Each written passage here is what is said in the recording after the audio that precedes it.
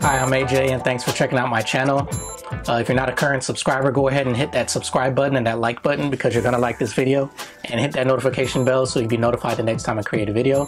So today we're going to talk about the $200 haircut. Yes, I said it, $200 haircut. Now, the average haircut, uh, when you go to a barber, uh, we'll say this is mostly for men, usually around $20. The, the national average is actually $28. Now, depending on how many times you go to get a haircut, whether it's weekly, bi-monthly, or monthly, uh, this money can add up over time. And your 20 to 20, 20 to $30 haircut is actually worth over $200 when you think about it in the long term as far as investing your money. So $20 that you invest today, 30 years from now is worth over $200. So every haircut that you get is $200 that you could potentially have in the future. Now, if you follow my channel, you may know, that I'm very interested in investing and I encourage people to invest their savings, uh, put more money into investing than their actual savings once you get that emergency fund filled. So we try to find ways to reduce our expenses and there are small things that we can change every day or things that we do weekly or monthly. And this is the one, one of the things that I decided to change. Now, every once in a while, if I want to just, you know, if I'm going to an event or like a wedding or maybe an interview or something of that nature, you know, I'll still go out to a barbershop and get that fresh, that crisp cut so you can get that nice edge that everyone's looking for when, when you're getting a haircut. But for the most part, I decided that, you know, buying my own set of clippers and cutting my hair is the most uh, time efficient and uh, dollar efficient way to get my hair cut. in the past, I would go and get my hair cut, you know, on payday. I get paid every two weeks, and I would go to the barbershop, and it would pretty much be like a two to four hour uh, thing, depending on, you know, where I was at at the time. When I was in college, you know, it could be any time from one hour to two hours because, you know, I was very close to the barbershop. It was a smaller town, so there weren't as many people waiting, and I didn't have to deal with as much traffic. But in my hometown, being in a larger city, you know, first getting through all of the traffic to get the, to the barbershop. And then once you get there, depending on what time of day you get there, it may be, be an hour, maybe even a two hour wait, you know, depending on where your barbershop is. And then if you're waiting on a specific person, which most people they're going to want to use the same barber every time, that way you get that consistent cut and that consistent look you know, that could be a, a four hour day just to go and get your haircut. And then on top of that, you're spending 20 or more dollars to get that haircut every week or every two weeks. So the most efficient thing for you to do with not only with your time, but with your money would be to cut your own hair. And so even someone that's getting their hair cut, and let's say we're going to use $20 as our example. So if $20 and you're getting a monthly haircut, that's $240 a year you can get some of the best clippers out there and they're around the same price as what you would pay for a year's worth of haircuts. The only difference is once you spend that $240, $250 for your clippers, you can use those for more than a year. It's like, you know, after that year is up, if you have gone to a barbershop and you spend $20 a month, you have to spend another $20 a month the next year and the year after that and the year after that. Your clippers could last you 20 to 30 years, you know, if you take good care of them, uh, if you're keeping them clean, if you're oiling them. And so it's really an efficient way not only to use your time, but also your money. And there are other things to think about um, as far as when you go to the barbershop. Uh, when you do go to the barbershop, the barber is using the same clippers that he used for the past 15, 20, maybe even hundreds of people. And now I'd say most barbers, they're pretty good at keeping their tools clean, but sometimes you go to a barber and you'll, and they may not clean it between every haircut that they make.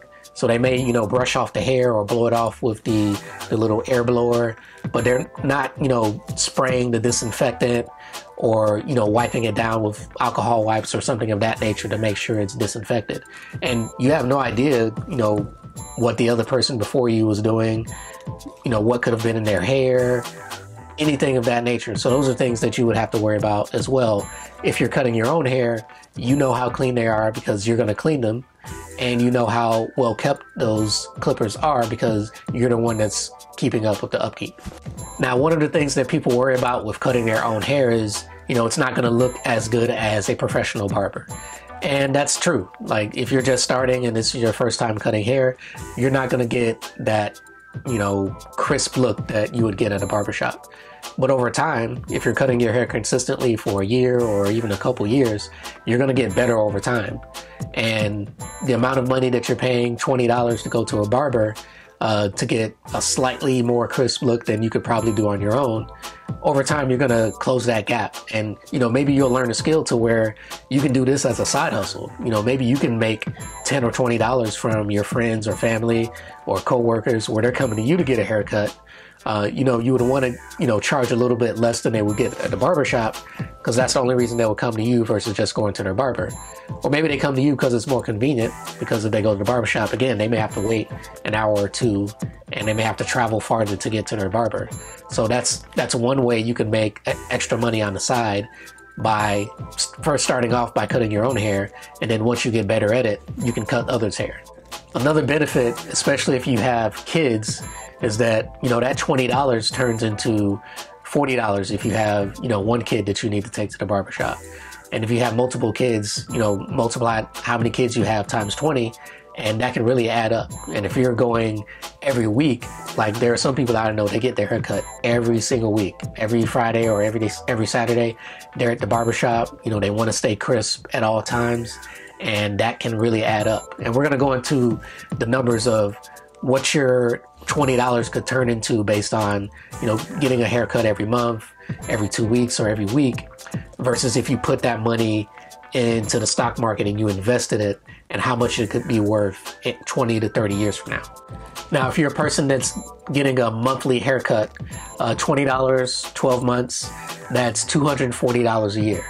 You know, not a big deal, but it is, it does cost more than the average good set of clippers. Now you can get the super high end ones, uh, or I'd say the, you know the high end ones that you could find at a store like maybe Sally's or even like a Walmart or a Target.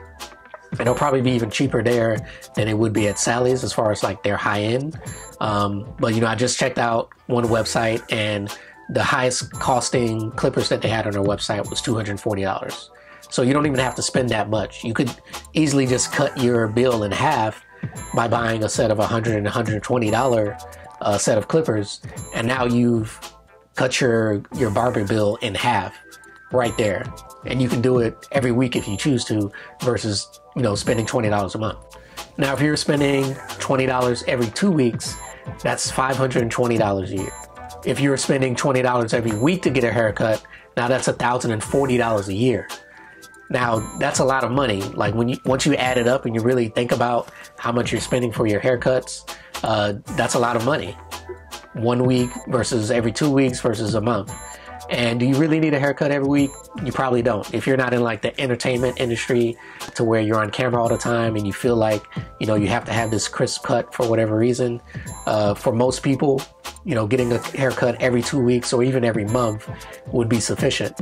Now, if you're one of those people that has to have a haircut every week, then it's very convenient for you to have your own clippers. You can cut them literally anytime you want to. Anytime you're at home, your clippers are available to you. You don't have to travel anywhere else. You don't have to go to the ATM to get cash. Uh, you don't have to use, you know, someone's using one of those apps like Square and they're getting that extra fee on top of the haircut and on top of the tip that you're giving.